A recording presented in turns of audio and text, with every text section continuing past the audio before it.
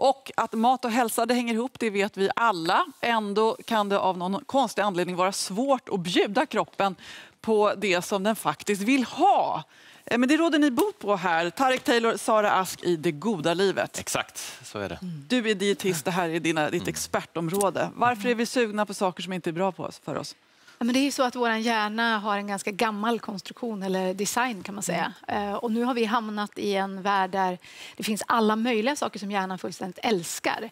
Eh, Ganska feta, söta, salta saker till exempel i en kombination som man egentligen inte ser i eh, naturen egentligen. Så att våra instinkter kapas lite grann. Men om, om utbudet i, ja, från livsmedelsindustrin såg annorlunda ut så skulle vi kanske inte riktigt eh, gå snett lika mycket, eller? Så det är jag inte säker på, för vi kan ju också själva tillaga saker. Så att, eh, Du ja, skulle stå där i skåpen och blanda smör och socker. Liksom.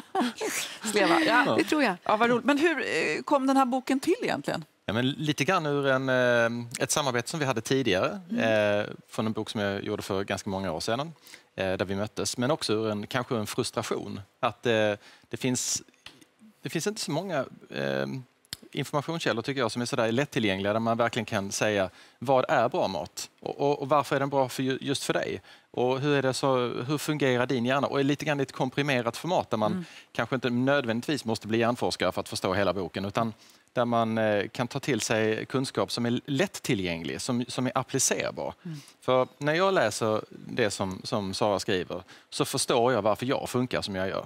Och, och jag är ju samma människa idag som jag när jag var 16 men jag har helt olika förutsättningar. Men eh, och efter din olycka som du var med om när du gjorde illa halsen så, så tog du ju till dig det som ni hade liksom Så in i bänken. fram alltså. i det här. Och vilken skillnad gjorde det i ditt liv?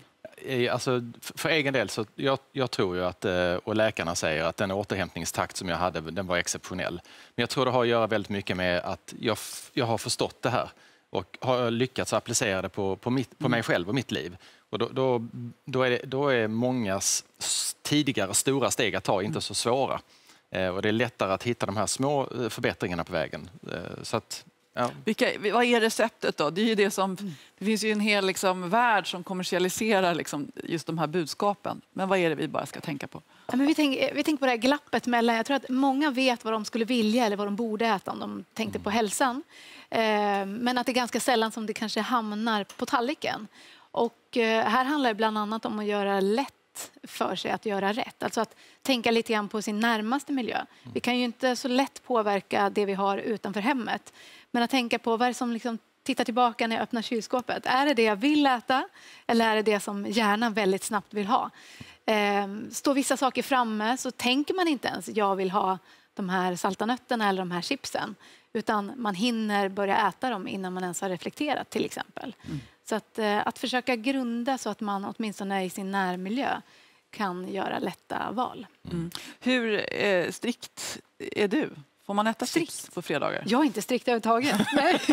alltså jag menar, eh, det är också en av våra filosofier att här handlar inte något om förbud. För bestämmer, bestämmer man sig för att inte äta vissa saker då kommer man tänka väldigt mycket på just de sakerna. Sen kan det för vissa människor vara det som krävs om det är svårt att äta lagom mycket av vissa saker. Men eh, överlag så tror vi inte på förbud. Absolut Nej, inte. vi tror på matglädje. Men då är det många kanske som inte, om man inte är van att äta hummus eller eh, Då kan man äta någon pasta. Härlig, då kan, Du kan ta något friterat också. Det är inte hela världen. Och det är lite grann det vi försöker säga. Att om man har förstår vad som händer och man tar till sig den kunskapen innan så kan man utifrån egna förutsättningar skräddarsy sin egen meny. Och den behöver inte vara komplicerad. Inte strikt, inte förbjudande utan ja, men ge ett tillåtande. exempel så vi förstår. Ja, men för min del, eh, jag älskar eh, eh, en bra macka. Och det äter jag gärna med, med glöd. Men Jag kanske inte äter en vetebulle då, utan då kanske jag äter ett riktigt gott bröd istället. Och jag lägger bra pålägg på det och trycker i mig. Eh, Jag vet att jag är hungrig på kvällarna, men att gå upp på, eh, på kvällen och trycka i mig en stor portion med spagetti köttfärssås, även om jag kanske är sugen på det, då vet jag att jag sover fruktansvärt illa. Men om jag äter istället havregrynsgröt, som kanske man har till frukost, så sover jag som en bebis hela natten. För att jag har förstått att det triggar sömnhormon och jag får långsamma kolhydrater och någonting som bryts ner i kroppen under den tiden jag ligger och sover. Så att med förståelse så kan jag med små enkla medel göra det njutbart för mig och vakna pigg och, och ha en jätteskön dag. Eh, Det är så många också som säger att allt är individuellt och det är blodgrupper och det är hit och dit vad, vad det handlar om. Är det så eller är vi hyfsat lika? Eh, vi är delvis lika, men också delvis eh, väldigt annorlunda. Eller liksom, till exempel vilka eh, vad man känner för smaker. Eh, Koriander pratar vi om till exempel. Vissa har en ökad känslighet för doften av aldehyder. Och aldehyder finns i koriander och då kan koriander smaka tvål till exempel. Aptiten.